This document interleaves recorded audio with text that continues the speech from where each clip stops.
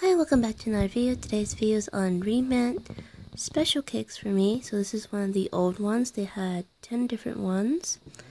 Uh, something pretty unique about this one. When I bought it, I was going to buy...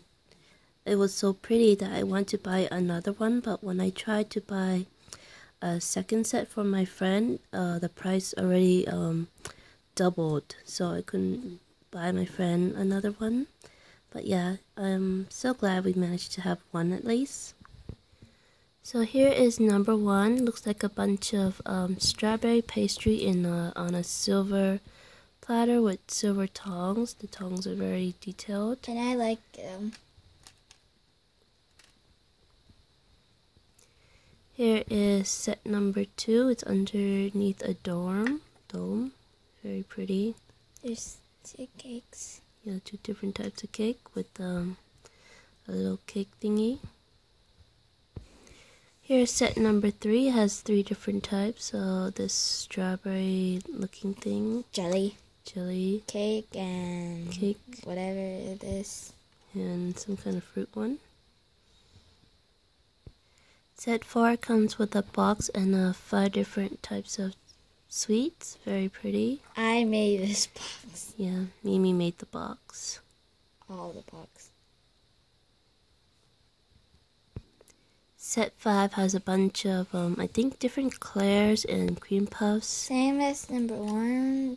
The tongs. Yeah, Mimi's fascinated with the tongs. Yeah. And the box again. Set 6 is like a giant cake with tea. I don't know who, who anyone that eats cake like this on a silver platter like that, but yeah, it's pretty cute.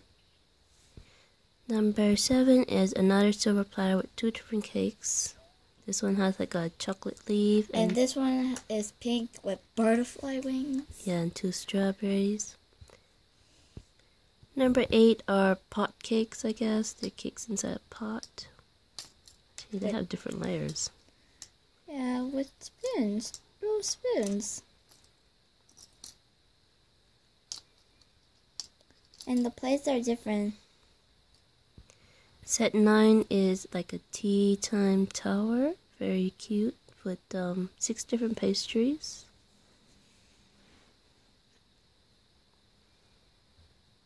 Set 10 is a very pretty set. It's a tea set that's all silver. Uh, there's a cup inside a silver cup. Yeah.